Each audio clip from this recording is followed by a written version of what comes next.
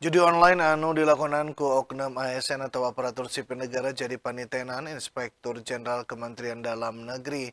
Pihak Inspektur Jenderal bebarengan jeng Inspektur Daerah Rukun Gawe jeng PPATK ngegeing ASN sangkan ulah tepika transaksi dina judi online deui. Reana Oknum ASN anu transaksi judi online jadi panitenan Inspektur Jenderal Kementerian Dalam Negeri Komjen Pol Tom Sitohir nalika tembian kegiatan rapat koordinasi Forum Inspektur Daerah Seluruh Indonesia atau FIDSI di Gedung Sate Kota Bandung poe Senin Peting 28 Juli 2024. Salah sajina nyata kasus 800-an ASN pamarentah Provinsi Jawa Barat anu dierong nyorang transaksi judi online. Komjen Pol Tom Sitohir ngerong eta panyalimpangan teh dilakonan ku ASN Ngora anu gede kapanasaran. Pihakna sateka pola ngageing ASN ulah tepi nyorang eta panyalimpangan deui. Lianti itu pihak nage rukun gawe jeng PPATK lebah maluruh eta pelaku judi online di papada ASN. Itu uh, ya karena mungkin coba-coba apa ada yang iseng-iseng ya.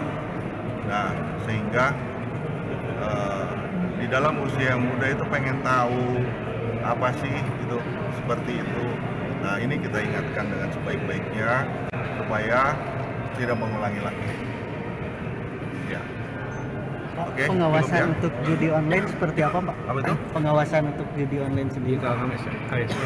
Kita selalu melakukan pencegahan, mengingatkan, kemudian bekerja sama dengan teman-teman PPATK ya. Itu setiap ada temuan-temuan itu kelihatan tuh. Kelihatan nama-namanya siapa yang main siapa yang itu kelihatan. Kenapa?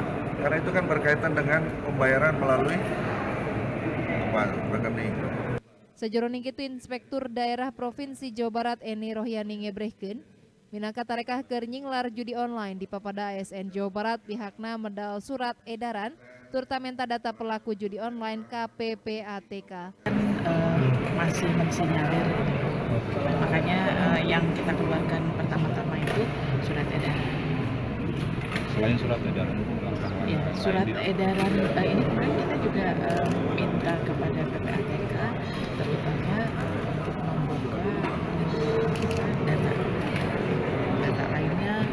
Dina nasnasna eta rakor Fidsite dikokolakeun minangka bagian keur ngaevaluasi kagiatan anu dilakonan ku pamarentah saban provinsi di sakuliah Indonesia.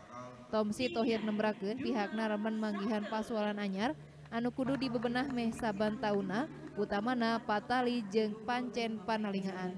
Dina tahun 2024 anu pangparnana nyaeta kasus judi online di papada masyarakat. Budi Hartati, Bandung TV.